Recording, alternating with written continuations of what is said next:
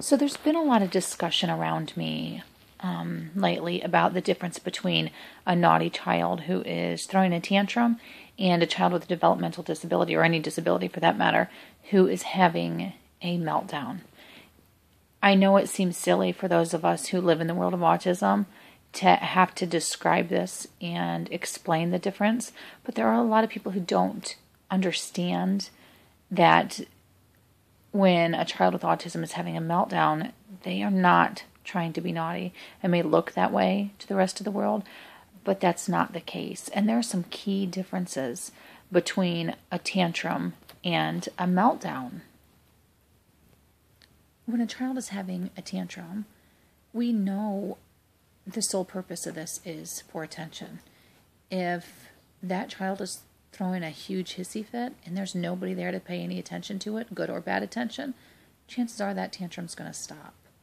Um, another key thing about a tantrum is those children are in control enough that they avoid hurting themselves.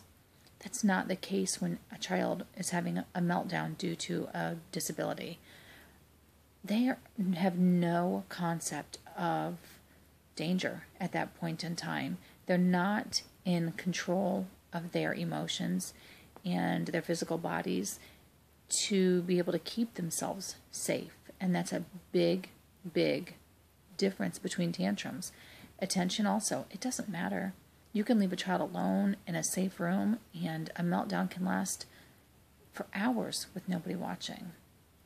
Because, again, as I said, there is little control over the body and the person when the meltdown is occurring.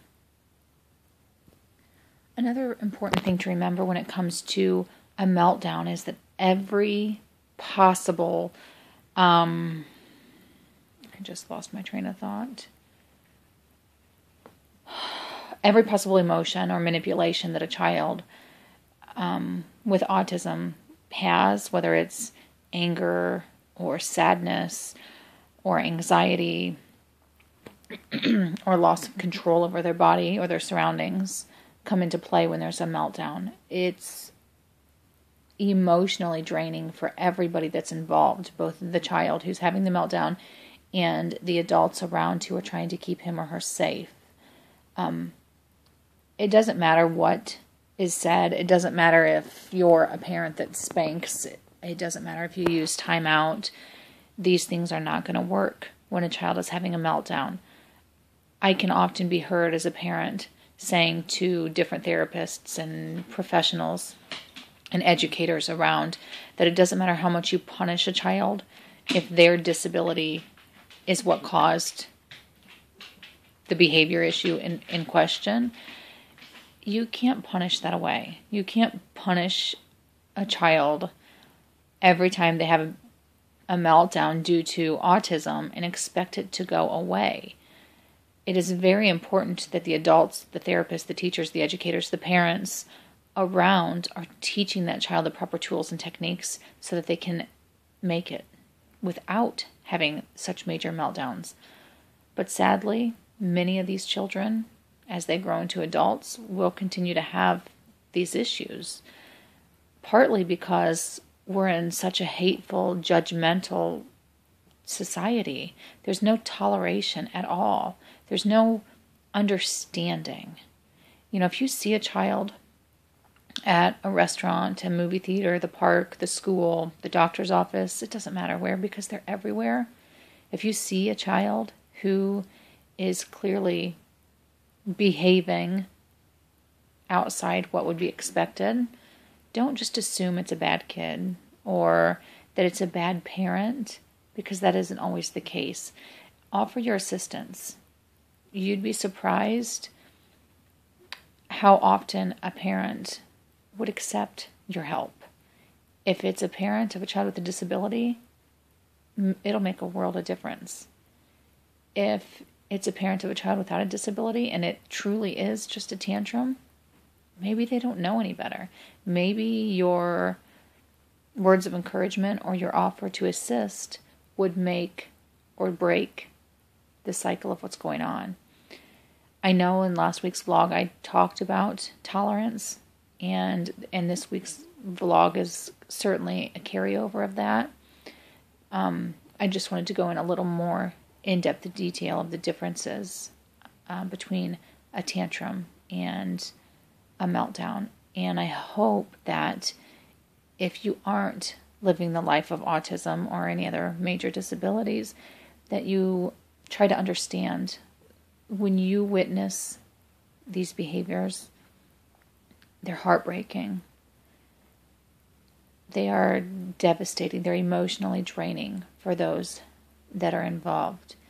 And I can tell you that as a parent who witnesses it a lot from more than one of her children, that the last thing that we want to deal with is the judgment of people who don't know. Um, especially those around us that are claiming to be friends or family or they claim to understand. That judgment speaks volumes. So, you know, I implore you reach out, educate yourself.